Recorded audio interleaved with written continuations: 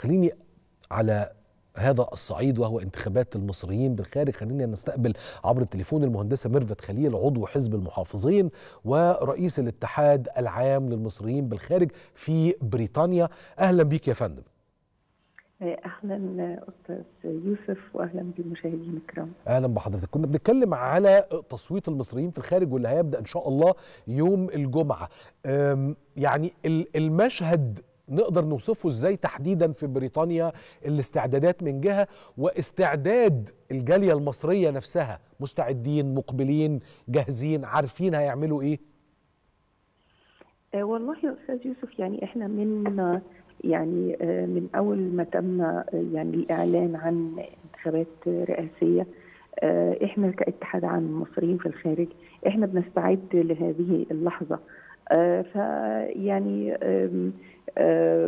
يعني بدأنا إن إحنا نعمل اجتماعات عبر منصات التواصل الاجتماعي نشتغل كلنا مع بعض من جميع أنحاء الدول بنتابع عن قرب دلوقتي جميع الحملات الانتخابية للمرشحين الأربعة على أساس إن إحنا بننصح فيهم الجالية المصرية. بنوريهم إن يعني إزاي مهم جدا إن هم يشاركوا في العملية الانتخابية. إزاي هي مهمة جدا إن هم يروحوا لصناديق الاقتراع علشان يختاروا المرشح زي ما حضرتك قلت بالظبط اللي هم يشوفوه مناسب.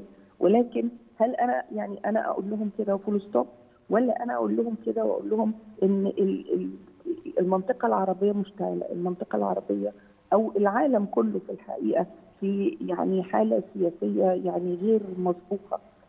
الوضع حرج جدا اقتصاديا وسياسيا وانسانيا. فلازم أنا يعني زي ما أنا بدي لكل واحد الحرية ان هو يختار اللي هو عايز يختاره يشوف إيه التيار السياسي اللي هو عايز يتبعه ويتبعه لكن واجب عليا أنا إن أنا أنصحهم إن أنا أقول لهم إيه المشاكل اللي موجودة. لأن حضرتك عارف في الخارج يعني ناس كتير جدا جدا ممكن يكونوا مش بيتابعوا التلفزيون المصري. ناس كتير جدا ما يعرفوش إن في انتخابات رئاسية. فكان لازم واجب علينا إن إحنا نعمل لهم signpost لكل الكلام ده. وبصراحة يعني الهيئة الوطنية للانتخابات منزلة شوية معلومات وفيديوهات يعني ترشيدية جميلة جدا. صحيح. أخذنا برضه على عاتقنا إن إحنا بناخد الفيديوهات دي وبنشيرها على جروبات الواتس وعلى الفيس وعلى يعني جميع يعني وسائل ال social media نبعت إيميلات للناس اللي متوفر عندنا ايميلاتهم بنقابل الناس في الشارع بنقابل الناس يعني في وجودنا لو تواجدنا في القنصليات. بنقابل الناس بنكلمهم. أنتوا عارفين إن في انتخابات. أنتوا عارفين انها يوم كذا وكذا. الصفحات بتاعتنا عاملين صفحة مخصوص للإرشادات. طبعا بناخد معلومات من الهيئة الوطنية للانتخابات. طبعا. ولكن كمان عاملين إرشادات للناس. طيب اللي جاي من اسكتلندا يجي إزاي؟ إحنا بندور له على أسعار تكون رخيصة. مثلا للقطر لو انت هتاخد القطار هيبقى في الوقت ده اوف بيك فانت ممكن تستخدم القطار كذا. طب هتتقابل معانا. طب إحنا هنخرج بعد يعني هتعمل التصويت وبعدين هنتجمع كلنا ونتفسح كلنا أو نخرج كلنا. بنديهم يعني امبريشن أو انطباع. يعني وهي دي بتبقى حقيقة فعلا لما بتحصل حضرتك. يعني أكيد بتبقى متابع الانتخابات المصرية في الخارج وبتشوف يعني كمية المصريين في الخارج بيبقوا عاملين إيه؟ يعني بيبقوا عاملين حفلة بره طبعا السفارات اولا لأن هم بيبقوا فرحين فرحانين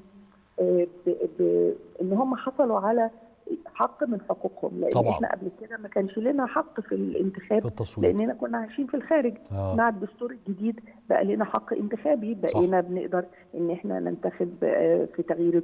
يعني بنصوت في تغيير الدستور بننتخب في مجلس الشعب بننتخب في مجلس الشيوخ وأدي الانتخابات الرئاسية طبعا من 2014 وإحنا مستمرين في في الانتخابات صحيح. فدي حاجة ما كانتش بتحصل قبل كده إحنا كنا منسيين يعني وكويس إنه الدستور الجديد أكد على هذه الحقوق لأجل المصريين في الخارج والجاليات المصرية اللي متواجدة خارج البلاد. أنا بشكرك جدا مهندسه ميرفت خليل عضو حزب المحافظين ورئيس الاتحاد العام للمصريين بالخارج في بريطانيا.